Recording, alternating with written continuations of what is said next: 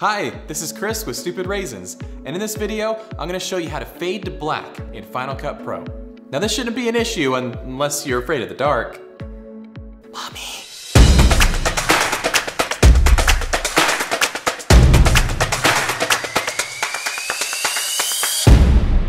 Now I'm gonna share with you the different ways to fade to black in Final Cut Pro.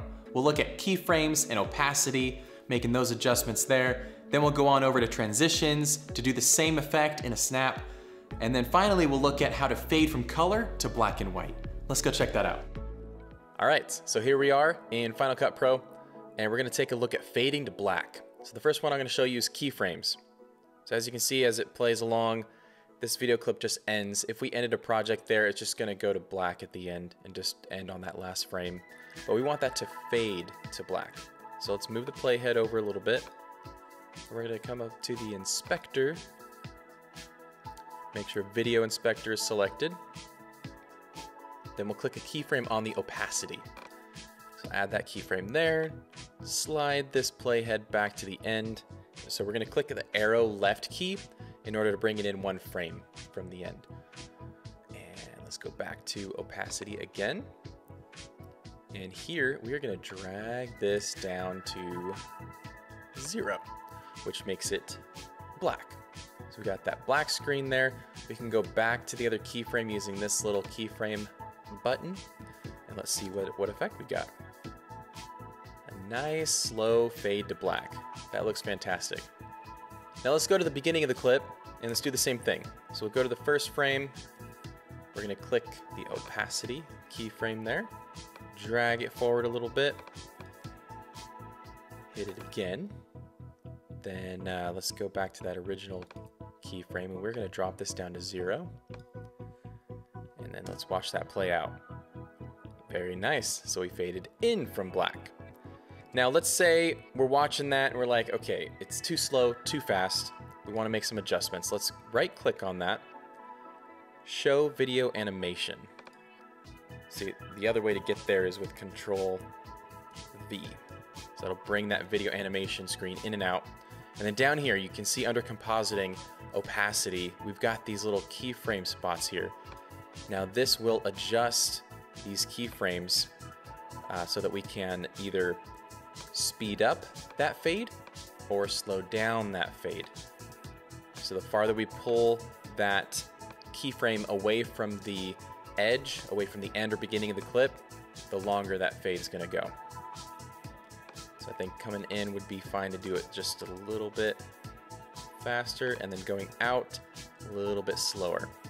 All right, now if you're wanting a faster solution than that, we're gonna come over here. We're gonna click on transitions. And we're gonna find this cross dissolve transition. We're just gonna drag this in, drop this in, and let's watch that, see, okay. That's a slower transition than we were working with earlier what we can do is we can make a few adjustments. We can click on that transition and drag this out. So let's bring out to about 10, two seconds and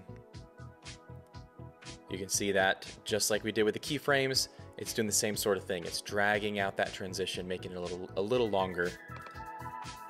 So for a few more options, what we can do is we can click on the transition and that's gonna bring up the transition inspector.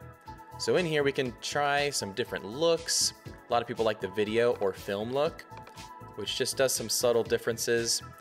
Uh, we can also take a look at, you know, adding a little bit of warmth to it. Very nice, but you can mess around with those and find what works best for your project. You can also change the amount of the cross dissolve and the easing in and out. You can change a lot of these settings. A lot of that will do is just change where and when uh, that fade to black starts, begins, how quickly it moves along. Then we also have the audio crossfade tool. So you can check our channel. We've also covered this uh, audio crossfade uh, before under blend and fade audio. Uh, but what we're gonna do here, we can take a look and see if we wanna keep it on an S curve or change it to linear or plus and, and minus 3 dB. Uh, just changes the blend of the two, uh, how the two clips crossfade their audio. Best thing to do is just leave it on S-curve, so that's what we're gonna do today. We can also drag this to this clip here, but what's gonna happen here is, while the cross dissolve worked pretty good for the end, it's not working as great for the middle. All right, so we're gonna look up another transition called fade to color. And there it is. Let's drag that right on top. So you can replace and drag on uh, a transition right on top of another transition. It overwrites it. So what we can do is take a look at this and so it's pretty quick. You may want that to last a little longer, so we can drag that out. Play that again. Nice.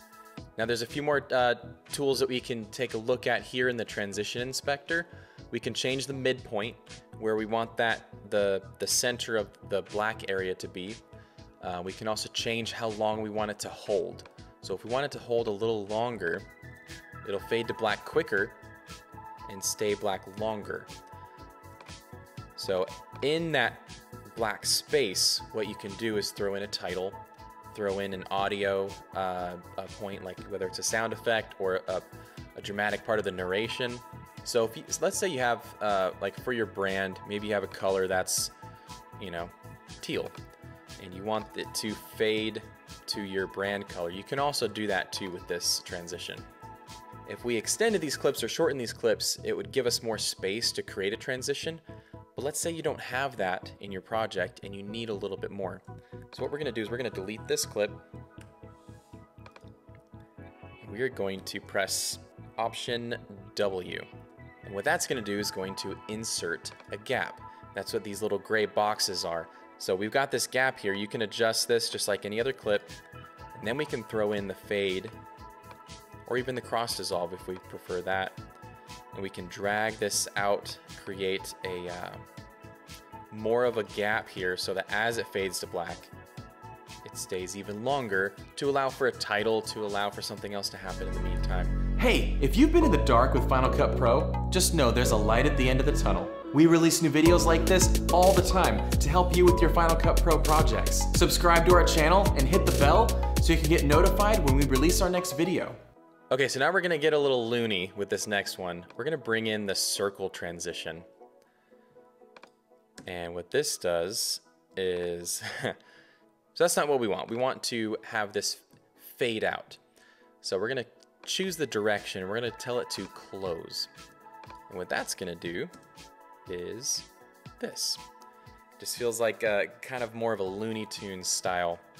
Now I'm gonna move this uh, dancer over and we're gonna bring this in and I'm gonna show you a little trick you can do with this. Let's change this back to close. And what we want that to have happen is at the end of this circle, we want to have it focused on his face. So let's play that back. Nice. Let's drag that out a little bit. And the other things we can do with this is change the edge. Like if we wanted the edge to be sharper, if we wanted it to be even more of like a, um, let's see the options we've got here. We can do a noir look. We can do an actual color. So this is also great if you have a brand. Again, let's go back to teal. And that creates a very fun look. Um, and this could also help with some transition. Like if you're having some brand footage or, you know, uh, maybe uh, you're advertising these headphones and you want something that kind of has some pop, some fun, some flair. You can add some color into this and uh, have some really fun transitions that can move from clip to clip or just fade to black. And let's say you want to fade from color to black and white. Let's take a look at that. We're to drop in some keyframes here, but we're to find those under the color inspector.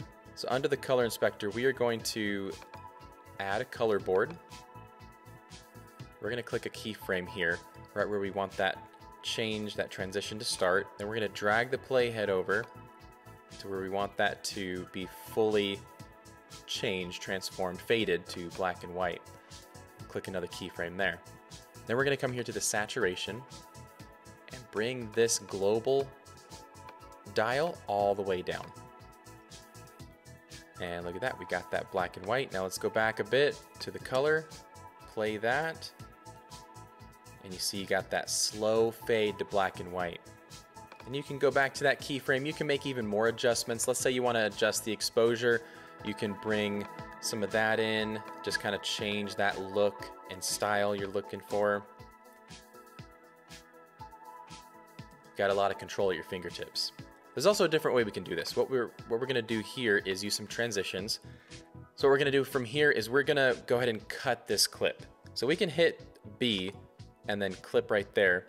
All right, so a little shortcut to be able to get right back to the pointer tool is you can hold B, click, let the B key go, and you're back to your normal pointer.